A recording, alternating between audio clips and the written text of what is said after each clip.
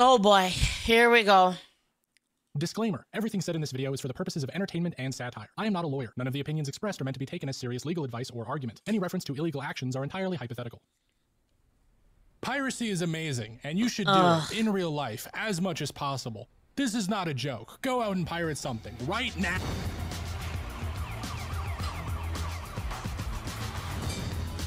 Oh boy. All right, I've probably lost some of you already with Uh-huh. the title of this video Yeah, and that me. opening bit. Piracy, especially as it relates to video games, has become a very complicated topic. Perhaps even the most complicated topic, since it simultaneously deals with legality, morality, and ethics, which I don't know if you knew, people tend to have pretty extreme opinions about. A lot of big companies and people online villainize piracy and make it out to be much worse than I think it actually is. Sometimes straight up lying I'm really curious. the people who do it. I'm So really thought curious to know what this argument's gonna be. it would be fun to go through a bit of a defense of piracy and try to debunk a lot of these myths. My patrons also voted for me to make this video, so if I go to jail for this, I'm blaming you. To give a quick definition, piracy is any act of robbery or criminal violence by a ship or its crew upon another ship or Wait, no, that's not it. Piracy is broadly defined as the unauthorized copying or distribution of copyrighted works. Mm-hmm. A lot of people are quick to say it's theft, including Joe Biden back in 2011. And that's definitely how anti piracy groups would like you to see it. In fact, they started an ad campaign in the 80s that invented the term piracy is theft in an attempt to villainize copying software. But I just want to start by clearing this up. Piracy is just copyright infringement, they are synonymous. When you do a piracy, the only law being broken is copyright. There is no theft. Isn't isn't this just semantics though? Because it because then wouldn't it actually be the- theft in practice? Like the actual effects of it are are are the same as theft? No. Don't Okay. or floppy. stealing Okay. involved. Let me explain. If I Yo, Davey, thank you so much for the bits. Thank you. rob a GameStop, they actively lose out on all the copies of Forspoken that I might take from them. Okay. Those copies might not be worth a lot because I don't think anyone bought that game, but GameStop doesn't have them anymore, which is what makes it theft. But even if I make 1 trillion copies of Big Mother Truckers 2 Truck Me Harder, real game by the way, and give them to all my friends, the developers didn't lose a thing. I mean, that's not true though.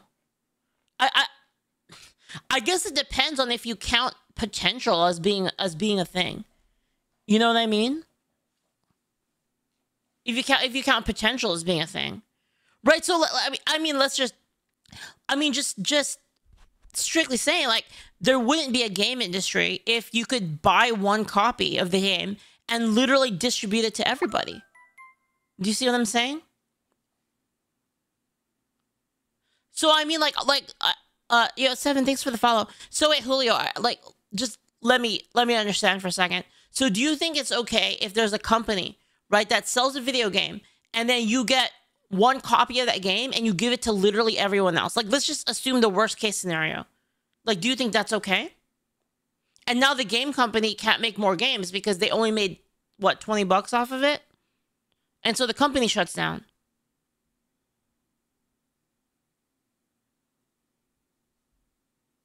You're saying it's not theft because they're not. Okay, I mean, I feel like this is semantics, copies, Nothing was taken, no theft occurred. And this is backed by the US government, ever since Dowling v. United States in 1985, where they agreed that interference with copyright, aka piracy, does not easily equate with theft, conversion, or. Okay, so by law, by law, it's not. Is the argument. The infringer of a copyright does not assume physical control over the copyright, nor wholly deprive its owner of its use. Also, a lot of people love misusing the term piracy to just describe any time they think people owe them money. Adblock, for example, has nothing to do with copyright. Watching this video and blocking all the ads isn't even related to distribution or copying. And there's no law saying that you have to watch ads on videos. So when companies like German media conglomerate Axel Springer try yeah, I mean, I don't, I don't, I don't think it's the same. suing ad blockers for piracy, they always lose in court. This should be Yeah, the end result is is similar. Yeah, it's just like a semantic argument. That's what I'm saying. obvious, but just because you want more money from people doesn't mean they're pirating from you. Not making someone more money Yeah, I mean, I don't think that's the same though.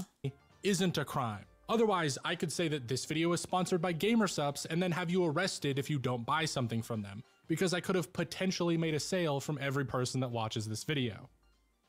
Uh, anyway, this video is sponsored by GamerSupps, a zero-calorie energy drink formula that's tastier and cheaper than canned energy drinks. Wow. If you don't go to gamersupps.gg slash Wait, there's an anime girl thigh flavor of GamerSupps?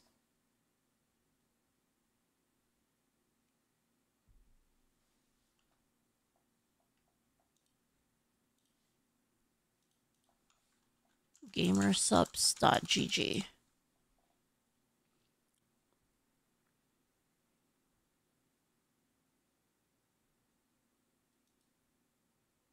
What was this code again? Lex Lex Torius?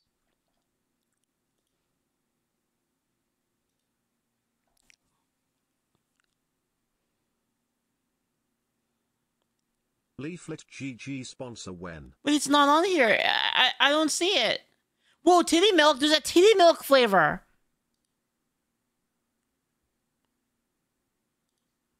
What the fuck? What is this?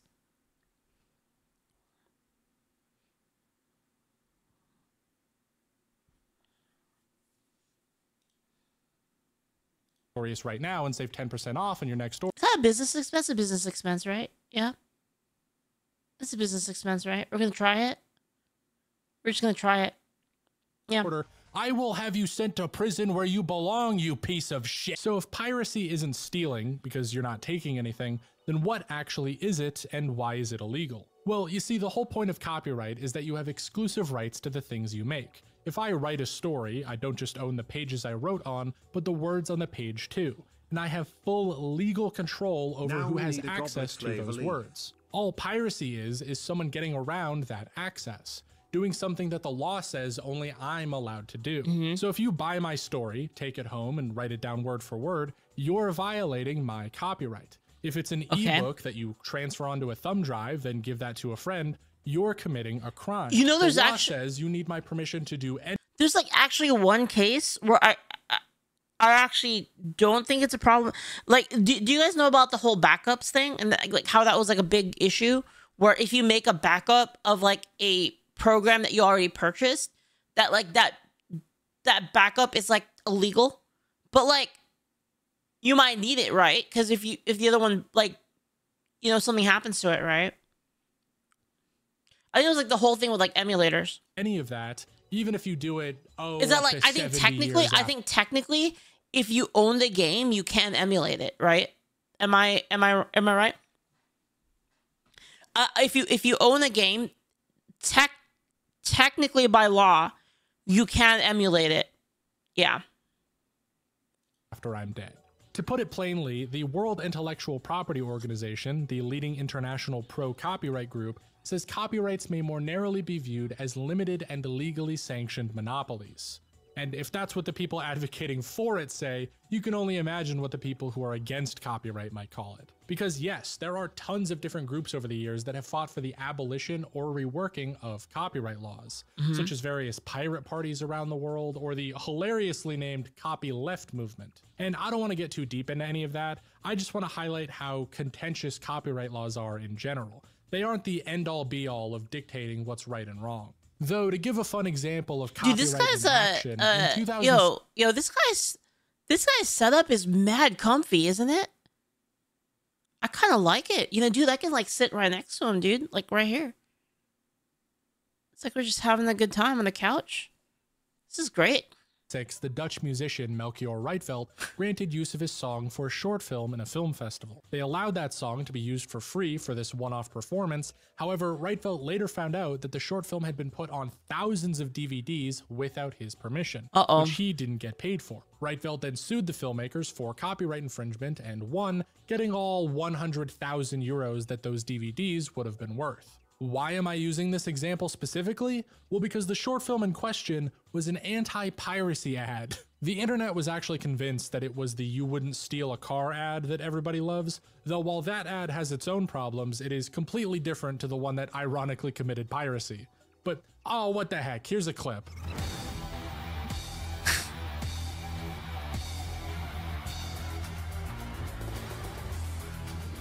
God, Wait, so what? good. Wait, what is the?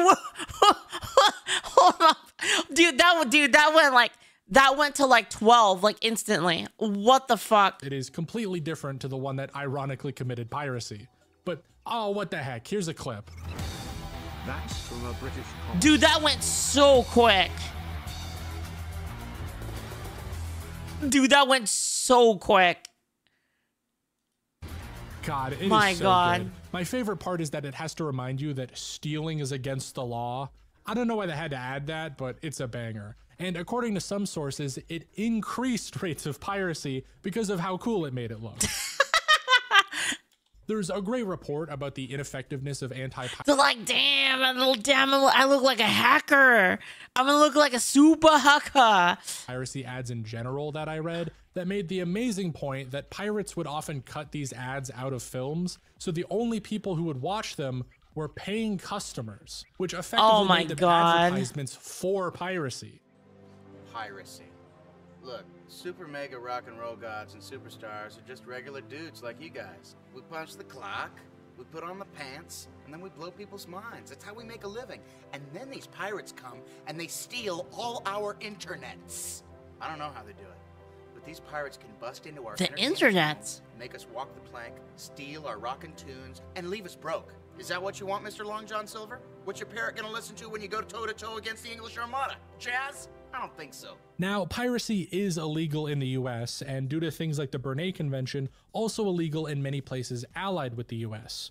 Though, just like with anti piracy ads, the law never really stopped anybody. Also, piracy laws either don't exist or straight up aren't enforced in a ton of places, especially China and Russia. So, a lot of companies took the task of stopping pirates into their own hands. I mean, if you can't arrest someone for obtaining copies, why not try to make it impossible to copy something to begin with? Before mm-hmm. the switch from analog to digital, the way companies would stop you from duplicating your favorite VHS copy of Turner and Hooch was just making it so the output was scrambled if you tried to turn the VCR to record mode. But with computers came programming, and with programming came more advanced kinds of copy prevention, all of which are dubbed Digital Rights Management Software or DRM. And I should clarify, to call any of this copy prevention is a bit of a stretch. It's more like copy delaying or copy mild inconvenience in most cases. You you you know what's kind of sad though is um like back in the day, like the pirated stuff was so cool.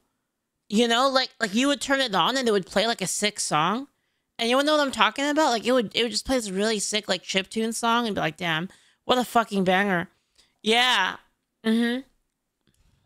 Because after all, one of the main reasons people get into programming in the first place is to problem solve fun challenges with computers. And so, as it turns out, giving a bunch of computer nerds a fat, juicy challenge to solve that would also let them play games for free if they beat it meant they would dedicate their lives to solving these problems. Getting around DRM became a very I want I wonder how many hackers the anti-piracy thing has created. You know?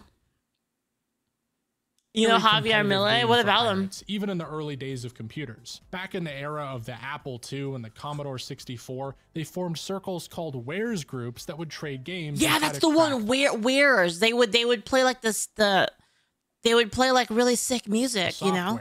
Each of them rushing to be the first one to bypass a new gamer program to get all the fame that came with it.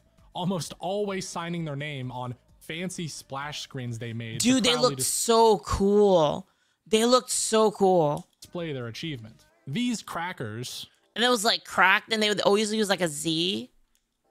Hold on, can I say that word? These white people kept up this tradition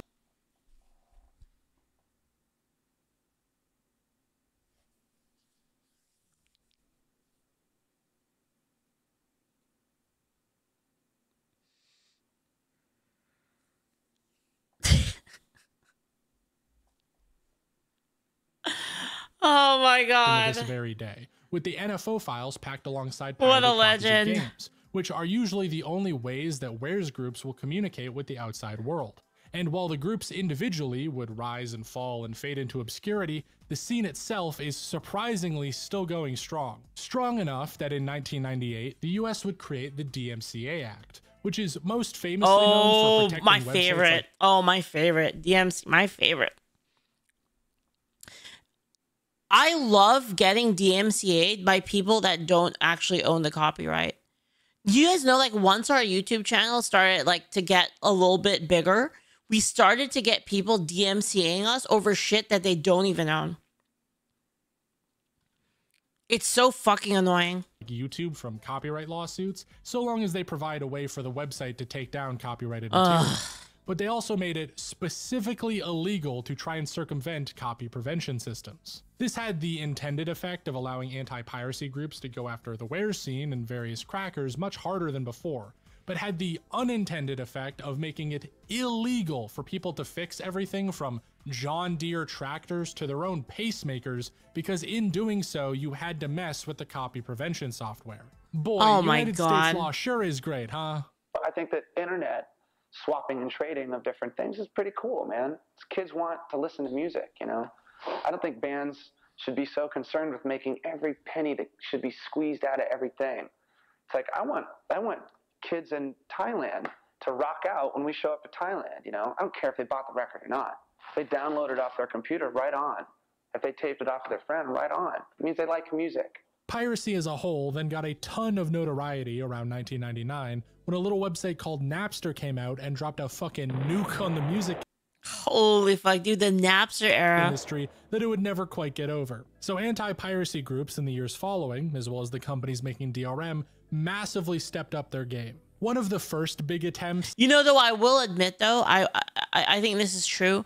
I think a lot of piracy arises from not actually people not being able to afford things. Like, I definitely think that there are people that that can't that can't afford things that pirate, but I think a lot of it is just from people making things terrible, making it terrible to actually buy things. You know what I mean?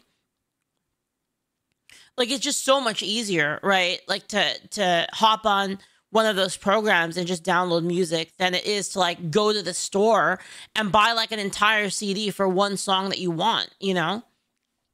It's a service issue yeah probably. Impossible to crack DRM was StarForce, which managed to keep Splinter Cell Chaos Theory unpirated for a world record 422 days. Damn. But StarForce also, unfortunately, required full control over your entire PC, couldn't be uninstalled, and ran so poorly that tech websites claimed it would brick your CD drive, which caused Ubisoft to be on the receiving end of a $5 million class action lawsuit for using it, and later caused them to drop it entirely. The software to replace StarForce was then SecuROM, which would physically measure where data was on your disk and then authenticate that data by making you activate your copy on an online server. And this was used on everything from Mass Effect to BioShock. yeah i mean I, I mean a lot of companies now they're they're using systems where you have to uh just using systems where like for instance uh spotify where you just can listen to it anywhere but it's like within their own system and people get paid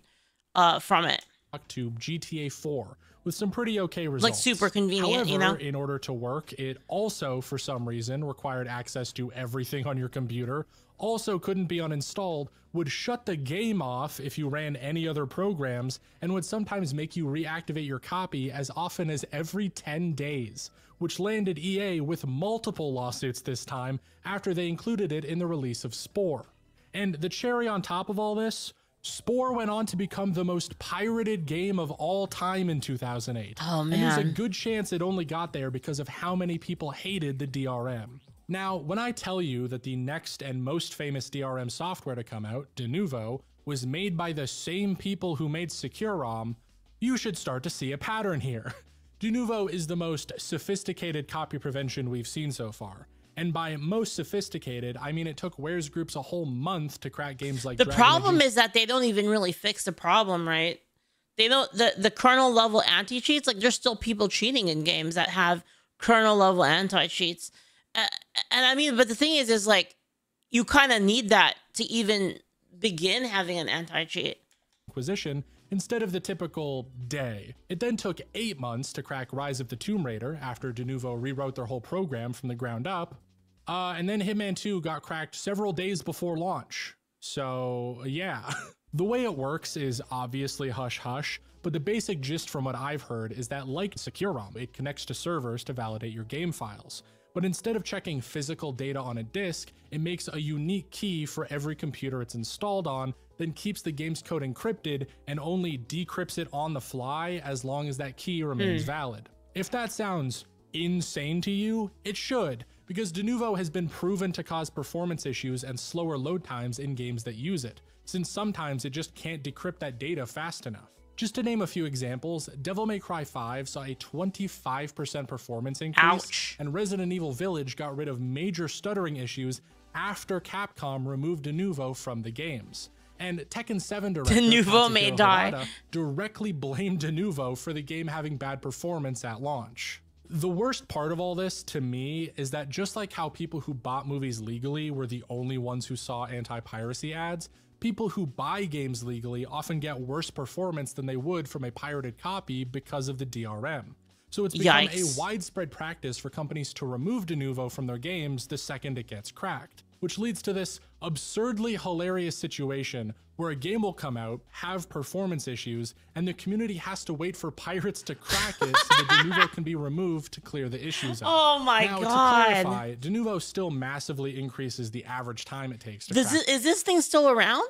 Your The game. Denuvo? Sometimes giving up the goods instantly, but sometimes giving about a month before something gets pirated, maybe even a year if the game isn't popular enough to attract the few crackers who know how to break it. And the crackers themselves have had some pretty It big is, ups dang. and downs the last several years or so, with many groups disbanding or getting raided by the police, and a ton of drama happening between members. This video doesn't really focus that much now on them, but single I'll link to a great console Reddit as of a few months ago. Oh shoot. I mean, the Switch already runs like shit, so thread that details a basic history of the scene and a lot of the drama that went on around one particular cracker, Empress. And I also suggest reading the Wikipedia article that just lists all the warez groups because that's pretty fun too. Ultimately, despite how terrible and ineffective it is for a lot of games, publishers keep putting in Denuvo and DRM in general because it can hopefully keep their game locked up long enough to survive the initial sales window. They are terrified of piracy and are often willing to hurt the consumer in order to just delay the inevitable. So let's talk a little bit about why they're so afraid. I hear Okay. terrible things about piracy. I've been hearing them for decades. People love to say that piracy is causing Isn't this the- wait, is wait, that it now isn't this- takes hackers a couple hours to crack isn't it. this the the game dev guy that's been around for a while? I think I've seen his videos. Oh, he's so the original Fall Guy. and undermining everything. I listen. I don't see a lot of evidence for that. But what happens is if you make a game that runs slower or takes longer to start up or whatever will, will become unplayable if someone loses a piece of paper, you're going to drive valid consumers away from your So it doesn't okay, so it doesn't seem like the problem is having a sentiment against piracy. The problem is that adding anti-piracy measures just makes it a worse experience. product. Whether they buy it or not, or whether they pirate it or not. Like it doesn't say that piracy is good. Like none of this is saying that piracy is a good thing. It's just saying that the anti-piracy measures are actually negative to everybody. they're not going to buy it because once a, someone pirates and they have wiped those measures if the game's better because of it if it runs faster has a better frame rate doesn't pause occasionally starts up really fast why would you want to play the valid one Piracy's effect on sales is incredible. See, the problem is though, is like if this actually becomes like a real problem, it's gonna turn into like all games being like a like a on demand sort of a service, kind of like kind of like Netflix or something. And I'm like really worried about that being like the actual future. incredibly difficult to track. The intuitive answer is that it certainly should have some, but how big of an effect and how much would change if piracy didn't exist is near impossible to find conclusive evidence on. Don't get me wrong, if you want to find studies on piracy, you can find hundreds, and I have. There are more research papers on the effects of piracy than I could count. But that's the problem because they all contradict each other. Like, if I wanted to, I could show you a report from the European Commission in 2013 that showed that music piracy had zero effect on legal music sales, Mm-hmm. saying the vast majority of music that is consumed illegally by the individuals in our sample would not have been legally purchased if illegal downloading websites were not available to them. I could show you another report that But like even okay, so this is just talking about the effects of it. It doesn't make it like morally right. You know what I mean? It said even though 51% of all adults in the EU had pirated something at some point in their life, this had no negative effect on sales in most industries. And in the case of video games, actually led to a 24% increase in sales, likely from word of mouth and people buying games after they pirate them. A conclusion that several other reports I found also show for video games and other industries. But I could also show you reports that conclude the exact opposite. Ones that say piracy negatively impacts music sales or movie sales or game sales. Some saying it doesn't have an effect on one, but a strong effect on another. If you gather enough reports on this, many of them will say completely different things because they're all using different data and mm-hmm. methodologies. So, just like I picked out studies showing piracy to have a positive effect, you can easily group up studies with negative effects and then make a conclusion from that. You know, piracy definitely hurts sales. Here are a dozen studies that say so. Just ignore the ones that disagree with me. Another thing to point out is that the vast majority of these I mean, that's a problem with like basically any sort of research, right? Because like the the data data is going to be different. You don't know if pe- people are poisoning the data with like uh, biased biased, uh, you know, like cherry picked data or something like that. So it, it's really difficult when there's a lot of uh, lot of data going out there.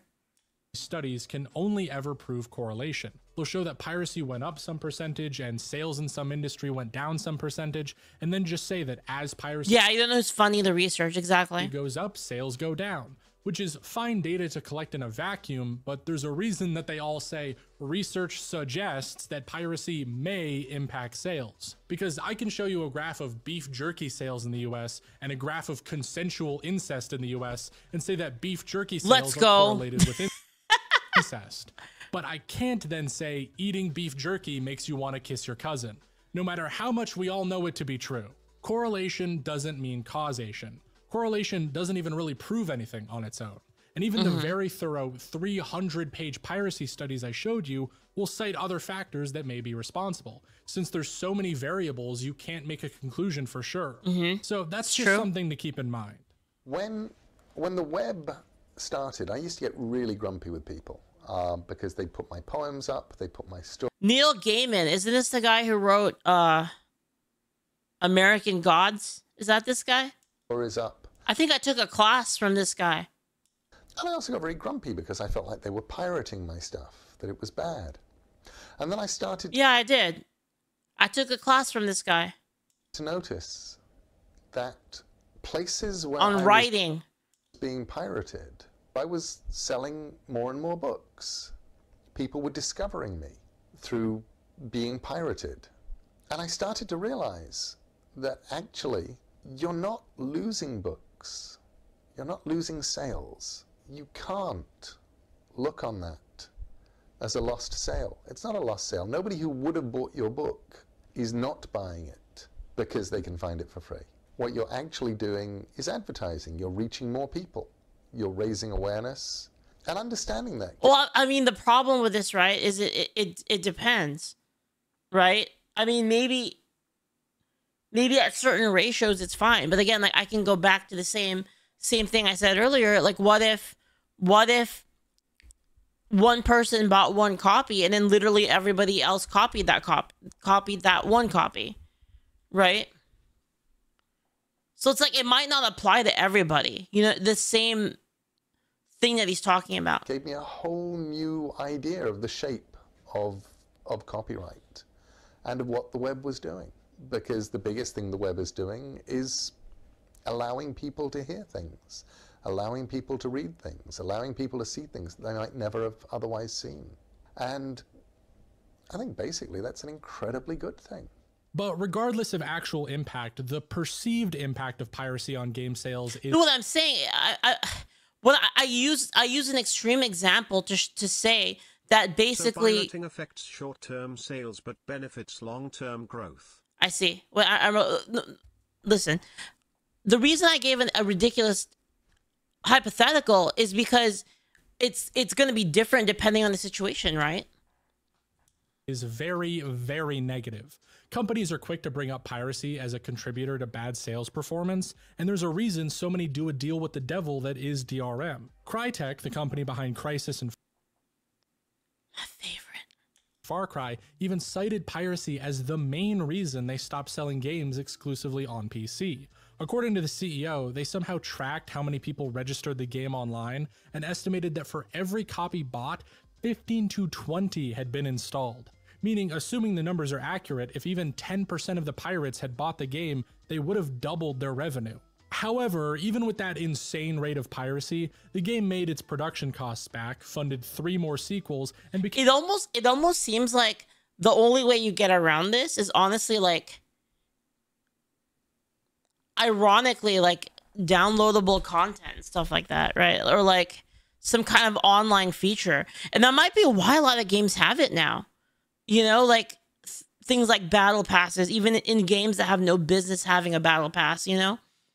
became one of the highest selling PC games of all time. So it's pretty hard for me to agree that piracy hurt them that bad. Yeah, you can't but pirate the microtransactions. sequel expansion, Exactly. Crysis Warhead launched with SecuROM on it and was the last PC exclusive Crytek ever made. Here's where it gets interesting though. Half a decade later, in 2014, Crytek tried transitioning to the games as a service market, with the mm-hmm. CEO claiming that every game they'd make from then on would be free to play and always online. But this was after some underwhelming sales from Crysis 3 and Ryse Son of Rome, a game I'm sure everybody remembers, which put the company on the brink of bankruptcy. To tell you how bad it got, Crytek reduced the size of their company by 40%. I wonder how much they make off of Hunt Showdown compared to their other games.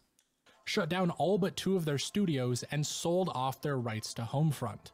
The CEO also didn't pay employees for several months because they said it would have put the company under. A former Crytek employee that got in contact with me said the company was still tracking how many pirated copies of their games there were, and still looked at piracy as a reason they weren't doing well. So they made the last ditch attempt to push into games as a service, which slowly clawed them back to profitability with games like Hunt Showdown. It's our game, guys. Our game. Now, we likely won't ever know the full behind the scenes story of Crytek, but I can guarantee this is a common belief in the industry. It's pretty easy to look at your sales numbers declining and blame people playing the game for free, even if it can't be proven that Uh, That, that is what he was saying earlier. Is that the the metrics might be some, from something else, right? Like maybe your game just sucks. they'd have bought your game anyways. After all, no studio has shut down specifically because of piracy, and Crytek's numbers only really declined after they implemented DRM and started making console exclusives. Out of curiosity, have you got? Do you guys know? Are people pirating like Palworld, for instance? Is Palworld getting pirated? I'm I'm so, curious to know how that making is. These games were the ones Yes. in the end, and piracy is a very easy thing to blame for that. Also, an unrelated fun fact: in 2004, Crytek's offices were raided by German police for pirating software. Police didn't actually end up finding anything because it was a false alarm, so I just want to make that clear. But it is really funny. Now, this poor treatment of employees, or well, the Crytek CEO says that people were happy to not get paid, but I don't believe that for a second. Uh. this poor treatment of employees. That's what do you guys think, Copion? That seems a little cope. That they were happy to not get paid. Get the fuck out of here. is, is widespread, and as we've seen recently, often happens where piracy doesn't. 2023 was the worst year for game developers on record. Over one third of devs were laid off or knew someone who was, according to one survey. Included with those are Epic Games laying off 800 people, Niantic laying off 200, and of course, Microsoft recently letting go almost 2,000 people from places like Blizzard. There might just be too many people. You know? Like maybe they just don't need that many people. Over 6,000 people lost their jobs this past year, and notably, a decent chunk of them were from companies making highly profitable online games. Ones that don't get cracked or have massive piracy issues, yet still I hate people citing tech layoffs at 2023 as a sign of something. I mean, it, it just seems like there's just too many people because like uh, like a lot of uh these companies they they bubbled up during 2020 and like I just feel like they just they don't need that many people. Like like for example, like Twitter, right? Didn't like Elon like fire like a shit ton of people at Twitter? It still works. Drop their employees like a sack of potatoes in order to cut costs. The reason for layoffs and shutdowns and poor working conditions are all going to be different. Like it still works and there's a lot of like new features coming out. So like maybe they just the don't need that many industry is a people. However, Bobby Kotick left Activision Blizzard with a four because like I, I- I mean it it's true that like there's a lot of times where these companies just have a lot of people doing nothing, you know? Hundred million dollar It still works. That's debatable. I haven't had any problems with it. Are there problems that a lot of people are having with Twitter? I haven't had any problems with it. payout, and Epic Games Tim Sweeney is worth four billion dollars. So that's kind of weird, right?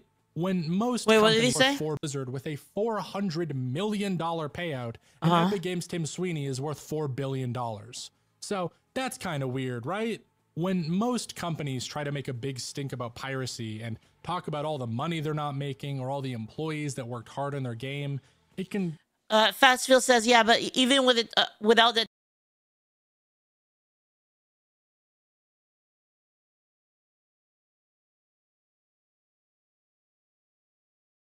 one second, it happens a lot where like a a small amount of people do like everything.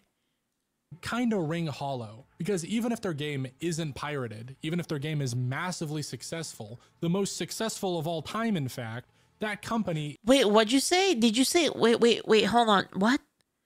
You see that Twitter has less freedom of speech now than before? Where are you getting that from?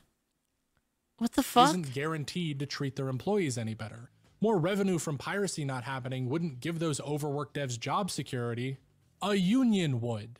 you know, there's assumption that what is piracy? Piracy is about people want to steal stuff from you, right? That they don't want to pay any money and they want to get your content. But when you look at the fact that these people have, you know, $2,000 PCs and they're spending $50 a month on their internet connections, clearly they're willing to spend money.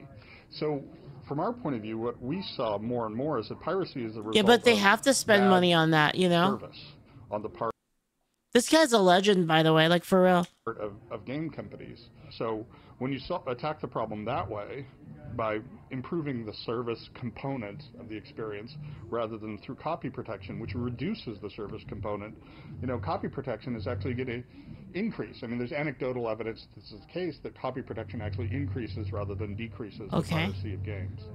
So, like I say, by focusing on the customer and doing useful things for the customer, uh, piracy The copy protection increases the piracy. I mean, I guess it, it it's probably what he's talking about about how about what the other guy was talking about with it being a worse product because of it.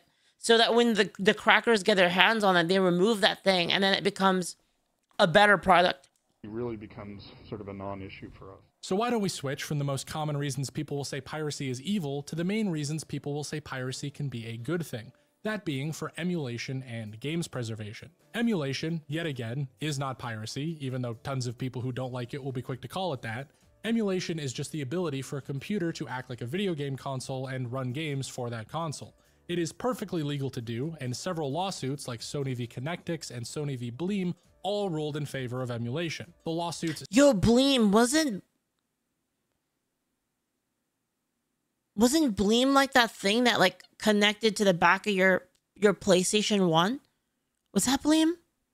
Sega v Accolade and Galoob Toys v Nintendo even ruled that reverse engineering game Galoob Galoob was Game Genie.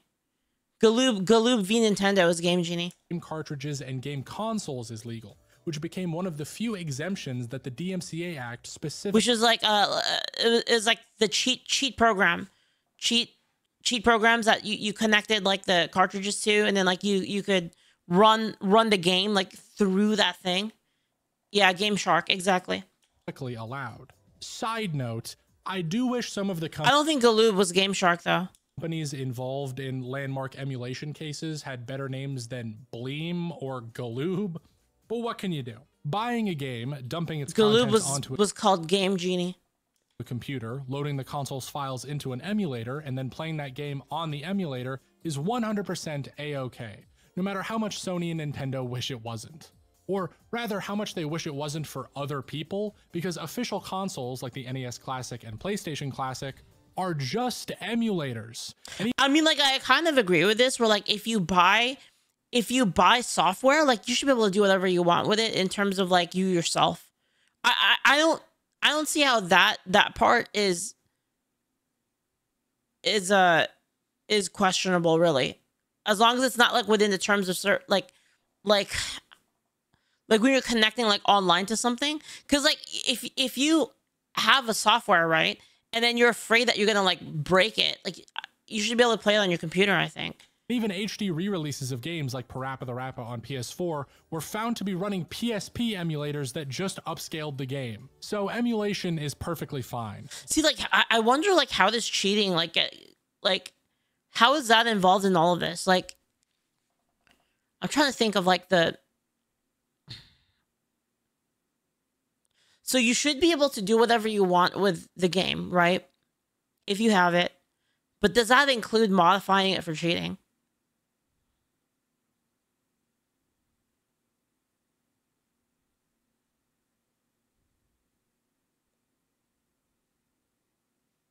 hmm Even the companies that put Connectix and Bleem into bankruptcy because I'm clearly I- I'm loss- clearly like for you being able to like use a game genie for your own personal purposes, but like, what about using it for? suits use it to sell their crappy little anniversary consoles. I see on servers that the developers are paying for. I see what you mean. Right, right, right. Mhm. When we talk about piracy That's a good in point. regards to emulation, it's just the same as every other kind. People who don't legally dump ROMs, but just go ahead and download them instead.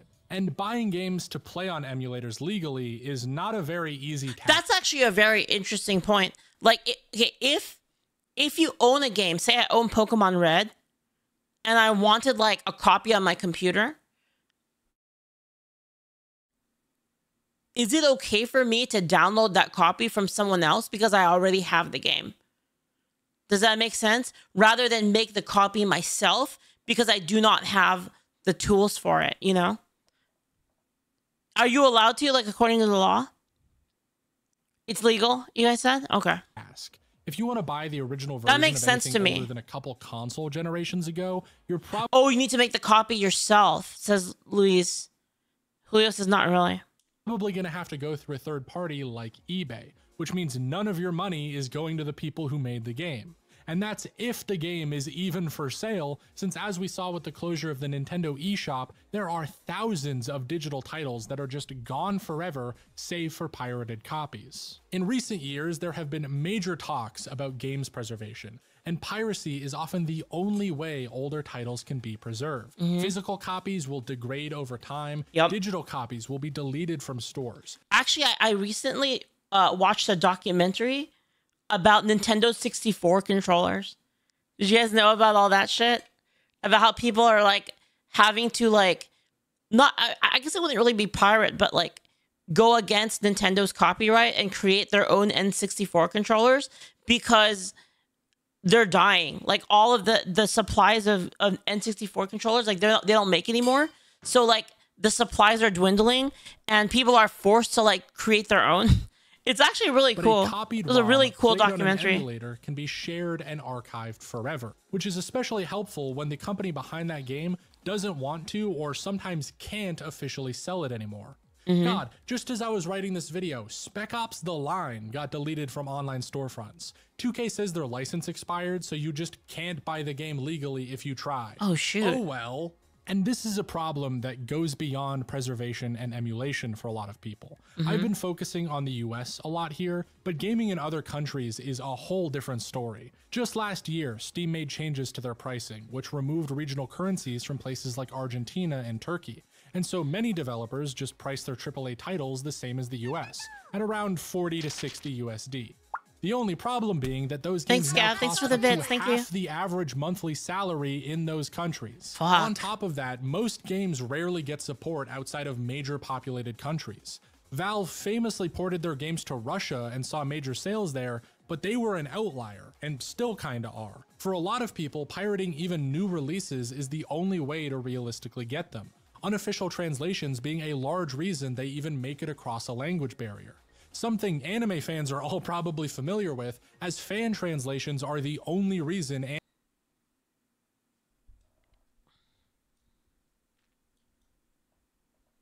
I have never pirated anime episode. Not even one time.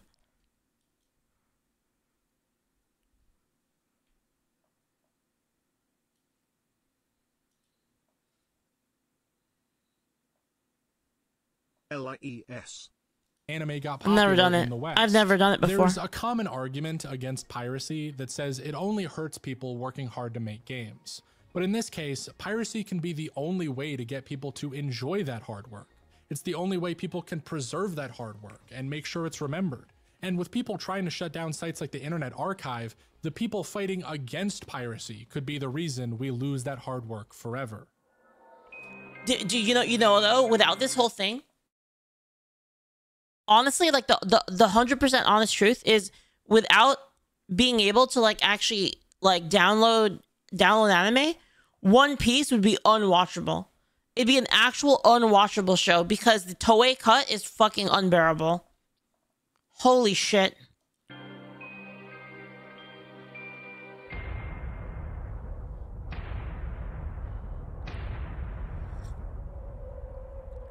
No, not Crash Bandicoot.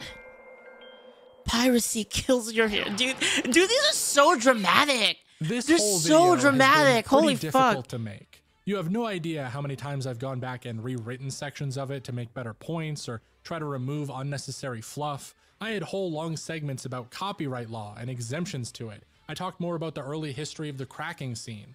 But I just kind of realized that none of that really helped what I was saying, and I want the message of this video to be pretty clear. Being against piracy is easy. It's illegal, it hurts profits, it's stealing. That's it, that's all you have to say. And you have the law, most companies, and many, many people on your side. It's a pretty safe and easy opinion to have, and I don't fault anyone for having it. Because He's, like, trying to make- he's trying to make, like, a- any reason He's trying to make like a pragmatic argument. almost always lands you with a mountain of arguments. You have to fight back on a bunch of misconceptions that are at best inaccurate and at worst straight up propaganda. And you have to deal with people trying to paint this issue as some sort of good versus evil debate. Even though I think the real answer here is that it isn't that black and white. You know, of course, I want game devs to get paid more, and I want the games I like to make more money. Mm-hmm. I think if you like games and you have the cash, then you should support them and buy them. Obviously. I think shouldn't that's really what it all comes down to. Is that is that if you like if you like things and you want to see more of things, like you should just support it. Right? It's kind of like what I do with anime. Like I just if I really like, you know, Granblue Fantasy for example, like I really like it, I'll sub- I'll, I'll buy stuff from Granblue Fantasy. I'll buy the merch that they that they put out. Or like I'll I'll I'll buy uh you know a lot of a lot of collectibles from like different animes that I like. even have to say it, because I don't think being pro piracy has to oppose those ideals. But if I'm gonna make some judgment on the morality of piracy, I wanna make sure I'm talking about it truthfully. And the mm-hmm. truth, as far as I see it, is this piracy is not theft. Copyright laws kinda suck. DRM sucks more. And I can get a better experience in some games through piracy because of it. Mm-hmm. Pirating games is the only way to preserve many of them. It's the only way some people can play most of them. And while it doesn't conclusively hurt profits, fighting against it has certainly hurt consumers. In fact, even if piracy didn't exist, game devs probably wouldn't get treated any better, and mm-hmm. companies would just find another scapegoat to blame their problems on. But because it does, and it's not going anywhere, people around the world have gotten to enjoy amazing games. I'm sorry, but I just don't think piracy is that bad. Dude, that scared the shit. Dude, holy. f- I got fucking jump scared, dude. Holy sh.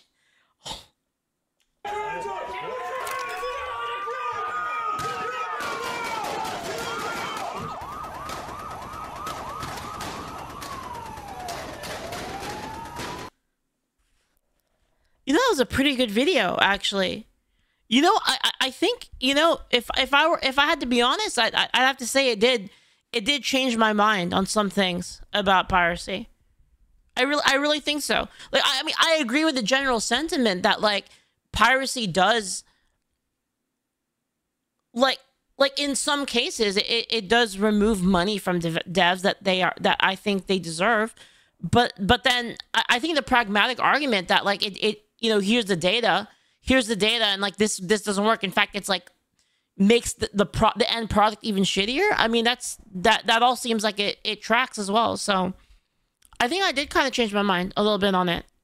So that was a good video. What do you guys think? Did, did you guys change your mind from it as well, or what if pe- people pirated our game? Well, I mean that's why we're making our game free. Actually, Finish the video. oh, it's not over. I thought it was over.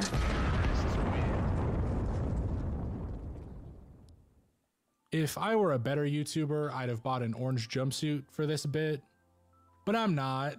Thanks so much for watching. Please feel free to leave a comment down below. I think this might be my most controversial video yet, and I've had pretty people send me death threats over thumbnails I've made before. But who knows? Maybe all of you agree with me and think I'm right. Either way, this is by no means a conclusive argument on the subject of piracy, so Mm-hmm. if you have an opinion on it, feel free to share. As always, if you like the video and want to support the channel, you can drop a dollar to watch it and all my other ones uncut and ad-free over on Patreon.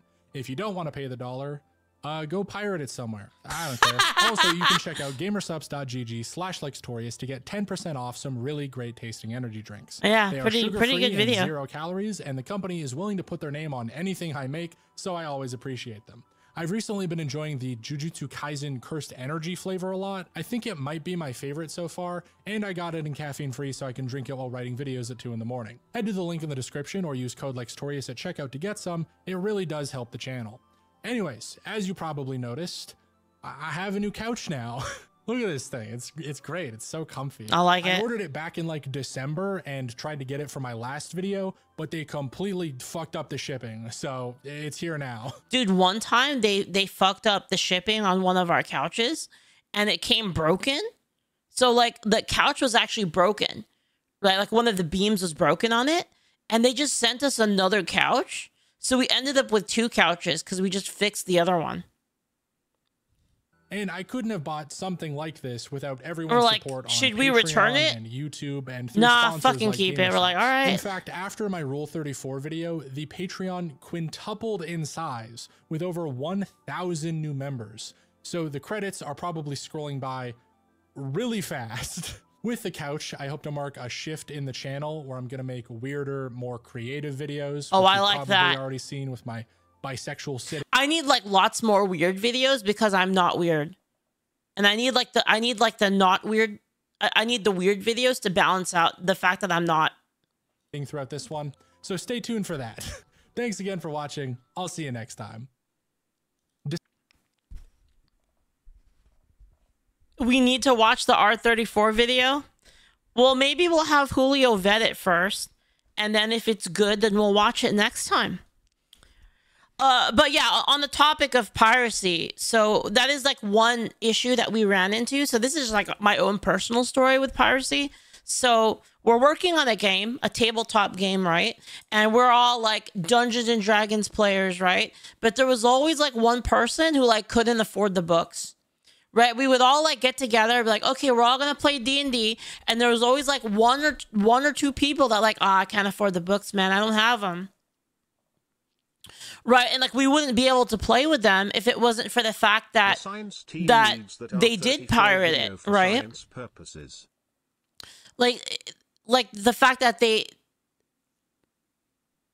sorry i lost my train of thought but yeah we wouldn't be able to play with them if if they didn't pirate it so we understood that like as you know as tabletop gamers and that's why when we're making our game it's just going to be free it's going to be just free free to play and then if people want to support us they can just support our patreon. That's kind of what we're doing. And if you support our patreon we just like give you new updates early and let you like have more feedback and insight into what's going on. You could like give your input into like what the next patch is going to have but that, that that's kind of our idea behind it. Is we're just gonna we're just gonna do like a patreon uh model for it. Yo future but thank you so much for the sub. Thank you for 22 months. Thank you. But yeah i think i think this really did kind of change my mind on on some of the piracy stuff. So that was a pretty good video. It was pretty well presented. Um I, I- kind of agree that like you know the, the general like in a perfect world in an absolutely perfect world we wouldn't have piracy, right?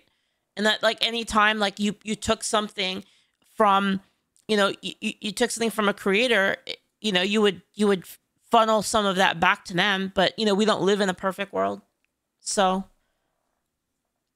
you know the idea of making a product worse to account for the piracy is is terrible. So